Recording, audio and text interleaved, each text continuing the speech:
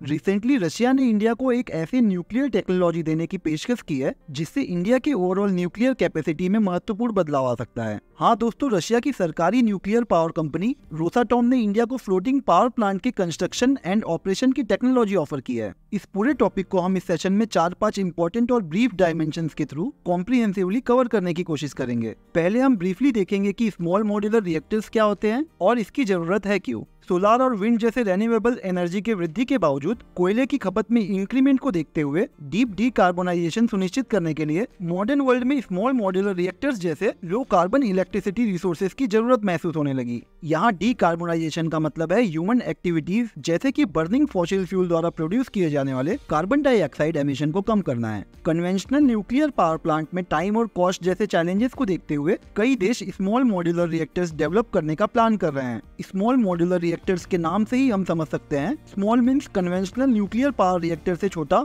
Modular means factory assembling का process कर easily transport करके इंस्टॉल किया जा सके। और रिएक्टर मतलब न्यूक्लियर पावर के थ्रू एनर्जी प्रोड्यूस करना। जनरली स्मॉल मॉड्यूलर रिएक्टर्स की कैपेसिटी न्यूक्लियर पावर प्लांट के अराउंड वन थर्ड के आसपास होती है। यहाँ अब हम ऐसा मान सकते हैं कि फ्लोटिंग न्यूक्लियर पावर प्लांट ऐसे ही एक स्मॉल मॉड्यूलर रिएक्टर्स का एक हिस्सा है। फ्लोटिंग न्यूक्लियर पावर प्लांट को सिंपली समझने के लिए बस आपको एक बड़े से पानी की जहाज़ को स्मॉल पावर स्टेशन के साथ इमेजिन करना है, जहाँ न्यूक्लियर रिएक्टर्स के थ्रू एनर्जी जनरेट की जा रही होगी। ये न्यूक्लियर पावर प्लांट रिलेटिवली कम लागत और कम कार्बन एमिशन के साथ सेटअप किया जा सकता है। अभी के टाइम में रशिया के पास दुनिया का इकलौता पानी पर तैरता हुआ ये फ्लोटिंग न्यूक्लियर पावर प्लांट है, जो अकेडमिक लोमोनोसो जहाज़ पर लगाया गया है। ये करेंटली पेवेक में बिजली का सप्लाई कर रहा है, जो रशिया के नॉर्थ आर्कटिक में स्थित एक पोर्ट सिटी है। अगर इसके इम्पोर्टेंट एप्लीकेशन की बात की जाए तो इसके थ्रू रिमोट कोस्टल एरियाज़ और आइलैंड पर इलेक्ट्रिसिटी पहुंचाई जा सकती है। जैसा कि इसे एक जगह से दूसरी जगह मूव किया जा सकता है, इसलिए इसे नेचुरल डिजास्टर से अफेक्टेड एरियाज़ में भी एनर्जी प्रोवाइड करने में यूज़ किया जा सकता है। और ये ऑफशोर ऑयल और गैस माइनिंग एक्टिविटी से प्रोड्यूस किए जा रहे कार्बन एमिशन को भी कम करने में मदद करेगा।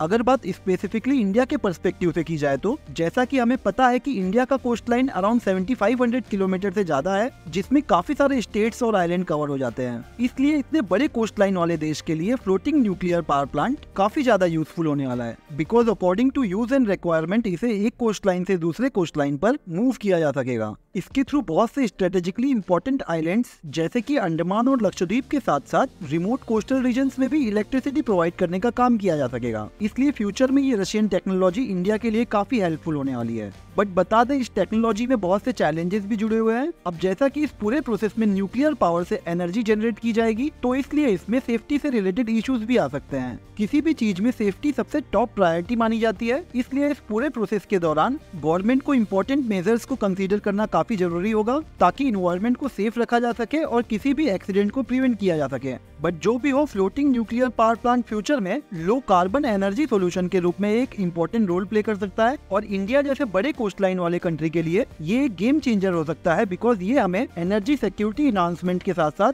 रीजनल डेवलपमेंट में भी काफ़ी मदद करेगा।